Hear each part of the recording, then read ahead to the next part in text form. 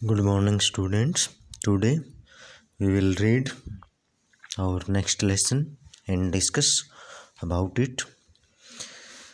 इसका जो विषय है टॉपिक की थीम है किस पर लिखा गया है वो है बिलीफ एंड सुपरस्टिशंस बिलीफ होता है विश्वास भरोसा और सुपरस्टिशन होता है अंधविश्वास विश्वास भरोसा किसी चीज़ का या किसी व्यक्ति का करना और उसी तरह सुपरस्टिशन किसी व्यक्ति या वस्तु पर बिना देखे, आँखें बंद करके विश्वास करना सुपरस्टिशन अंधविश्वास।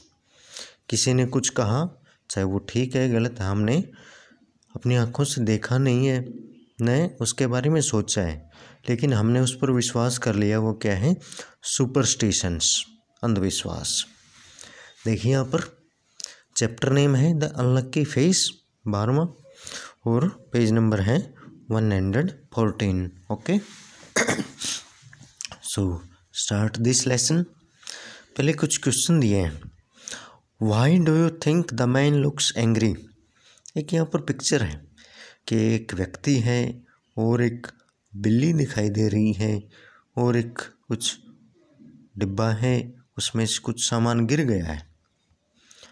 लगता है जैसी बिल्ली ने इस सामान को गिरा दिया है। हो सकता है दूध तो व्यक्ति है, वो इस बिल्ली को भगा रहा है, इस पर गुस्सा है। Why do you think the man looks angry आप ऐसा क्यों सोचते हैं कि यह व्यक्ति गुस्से में दिखाई देता है? जैसे इसके चेहरे के भाव दिखाई दे रहे हैं। और जो और दूसरी बिल्ली है, उसने कुछ सामान गिराया लगता है। इससे हमें पता चलता है कि यह व्यक्ति गुस्से में है एंग्री है। If you are in the man's position how would you react यदि आप इस व्यक्ति की स्थिति में होते, यदि आप इस व्यक्ति की जगह पर होते हाउ वुड यू रिएक्ट आपकी क्या प्रतिक्रिया होती? आप क्या महसूस करते? क्या करते इसकी जगह? जैसे ही यहाँ पर गुस्सा कर रहे हैं बिल्ली पर। तो आप क्या करते? Have you ever heard about lucky unlucky things क्या आपने कभी भाग्यशाली, दुर्भाग्यशाली या अच्छी और बुरी चीज़ों के बारे में सुना है?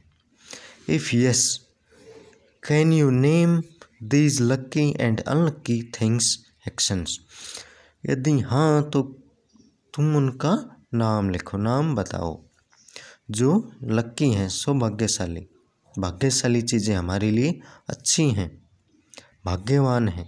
अनलक्की, या जो अच्छी नहीं हैं दुर्भाग्य वाली हैं, उनके, या जो कार्य हैं, उनके नाम बताओ, नाम लिखो। आगे हम स्टोरी है, शुरू करते हैं इसको।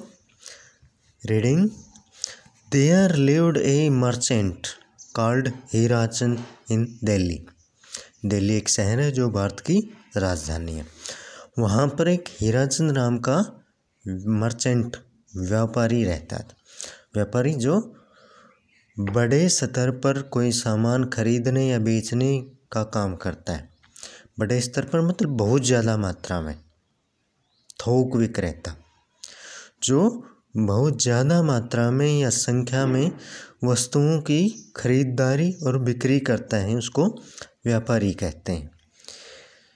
It was said that anyone who saw his face early in the morning would go without food that day it was said anyone उसके बारे में लोग कहते थे, कहा जाता है उसके बारे में, कि कोई भी उसका चेहरा सुबह में सबसे पहले अर्ली इन द मॉर्निंग सुबह सबसे पहले उसको देख ले, उसके चेहरे को देख ले तो पूरे दिन उसका बिना खाए जाएगा। को विदाउट फ़ूड दैट कि पूरे दिन उसको खाना नहीं मिलेगा।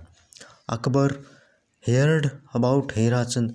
अकबर जो था, राजा था, उसने भी हीराचंद के बारे में सुना। Hirachand was asked to see him Hirachand was asked to see him. Akbar ने कहा कि वह हीराचंद को देखना चाहता है।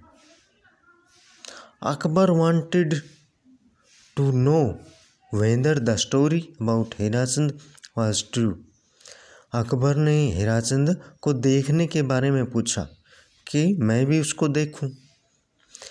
अकबर जानना चाहता था। अकबर वांटेड टू नो ये जानना चाहता था वांटेड सेकंड पर, कि the story about Hirachand was true कि हीराचंद के बारे में जो कहानी लोग कह रहे हैं, जो बातें कह रहे हैं, वो सच हैं या नहीं हैं। The next day Akbar was on his way to the dining room when Hirachand was brought to him अगले दिन जब अकबर अपनी डाइनिंग डाइनिंग रूम भोजन के कक्ष की, भोजन कक्ष की तरफ़ जा रहा था, जब हीराचंद को उसके सामने लाया गया। उसके लिए लाया गया। तब अकबर कहाँ जा रहा था? अपने भोजन के लिए जा रहा था, भोजन कक्ष की तरफ़, जहाँ पर भोजन करते हैं, उसको डाइनिंग रूम कहते हैं। उस रास्ते में था या उस तरफ़ जा रहा था।